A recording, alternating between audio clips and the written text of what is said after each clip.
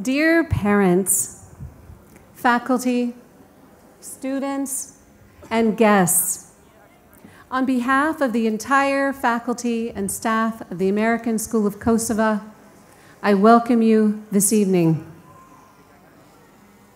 I welcome you to the commencement ceremony for the graduating class of 2019. We can have a round of applause for them.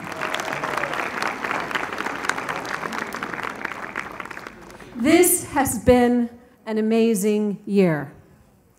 This has also been an amazing day. Just yesterday, we had 60% chance rain, thunder clouds, and we had a fountain of water coming down into the amphitheater. And the operations team hooked up the fire hoses inside our cafeteria and cleaned out the area.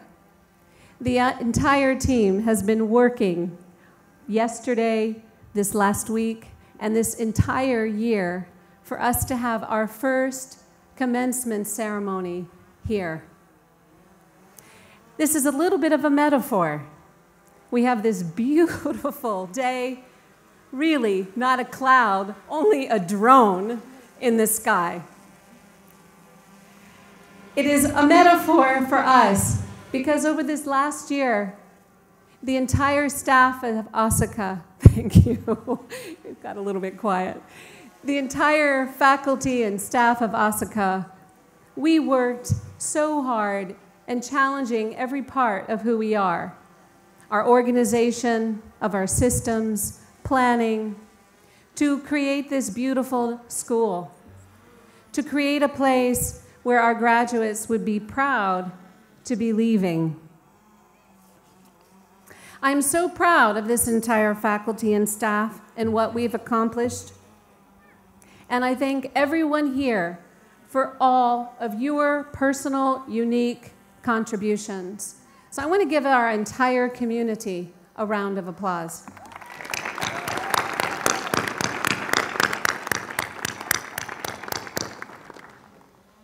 The class of 2019 is composed of 61 students who have developed the basic skills necessary to earn the American diploma.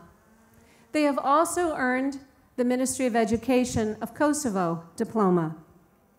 Many of these students speak at least two languages fluently. Many are excellent in math and other subjects.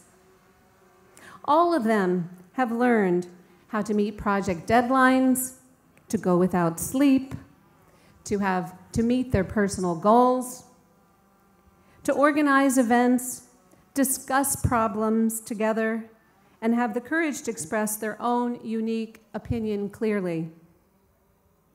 Looking at these graduates beside us, I see five students who will be going to universities in Turkey, four students who will be going to university in the Netherlands, three who will be going to universities in the United States, three who will be going to universities in England, two who will be going to the Czech Republic, one who will be going to university in Romania, one who will be going to a university in Germany, one who will be going to the university in Italy, one who will be going to a university in Greece, one who will be going to a university in Croatia, 10 students who will be going to AUK RIT, 18 students will be studying at different universities through Kosovo, and 10 are still trying to figure it out.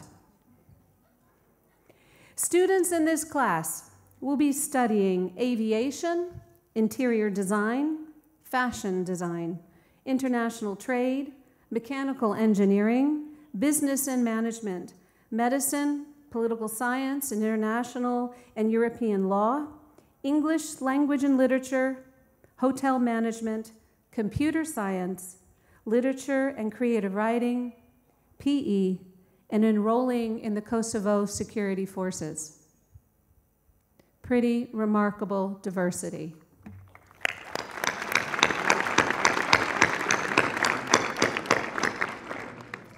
Graduates, I believe that you have developed the skills you need to be leaders in the field of your choosing, in your community, and anywhere in the world you choose to go. In the next year, I am sure you are, will be faced with many more challenges than you can imagine or expect. Similar to what it took for us to move into this building, there will be surprises that challenge you. It will take persistence. You will have to be patient. Things don't happen, good things don't happen overnight.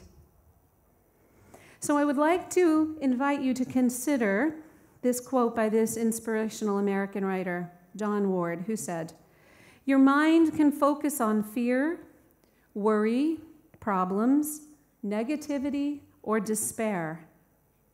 Or it can focus on confidence, opportunity, solutions, optimism, and success. You decide.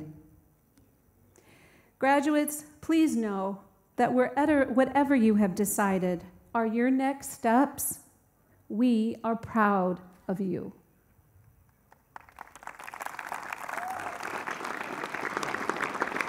We bless you this evening and the path ahead you choose.